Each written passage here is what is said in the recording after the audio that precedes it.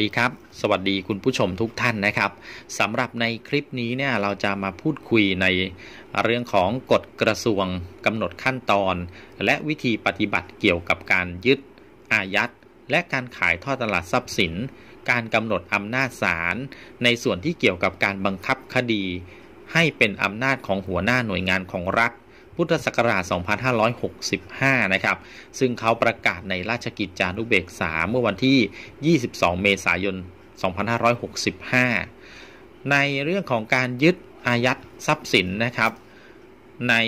ความหมาย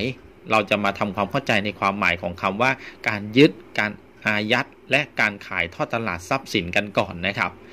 ใน 3คำนี้เนี่ยนะครับเขา ได้ให้คำนิยามเอาไว้นะครับคำแรกก็คือคำว่ายึดคำว่ายึดเนี่ยก็หมายความว่า การกระทำใด ๆ ต่อทรัพย์สินของผู้อยู่ในบังคับของมาตรการบังคับทางปกครอง เพื่อให้ทรัพย์สินนั้นเนี่ยได้เข้ามาอยู่ในความครอบครอง หรือความควบคุมดูแลของเจ้าพนักงงานบังคับทางปกครอง หรือหน่วยงานของรัฐนะครับ ยกตัวอย่างเช่น ภาษีค้างชำระต่างๆ เป็นต้นนะครับ ในการยึดเนี่ยความหมายก็คือการ บังคับให้ทรัพย์สินนั้นเนี่ยเข้ามาอยู่ในครอบครองของหน่วยงานของรัฐนะครับ ที่ออกคำสั่งทางปกครองนั่นเอง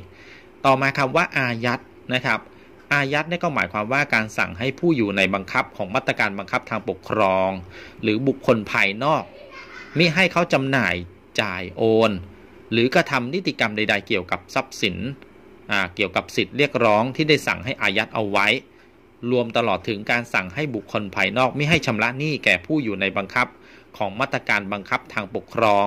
แต่ให้ชำระหนี้แก่หน่วยงานของรัฐ ภายในเวลาหรือเงื่อนไข หรือณสถานที่ซึ่งผู้ผู้มีอำนาจออกคำสั่งอายัดกำหนดนะครับ การอายัดเนี่ยนะครับก็จะแตกต่างกับการยึดนะครับ ก็คือการ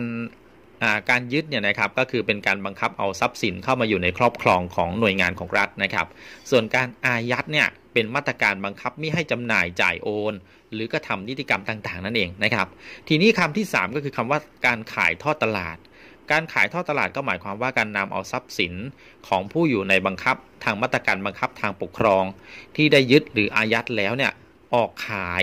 โดยวิธีให้สู้ราคากันโดยเปิดเผย ซึ่งอาจจะดำเนินการโดยวิธีการทางอิเล็กทรอนิกส์ก็ได้นะครับ นี่คือความหมายของคำว่ายึดอายัดและการขายท่อตลาดตามกฎกระทรวง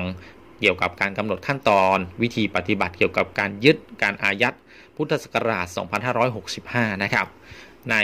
รายละเอียดเนี่ยยังมีอีกค่อนข้างเยอะนะครับ เดี๋ยวเรามาเรียนรู้กันต่อในคลิปหน้า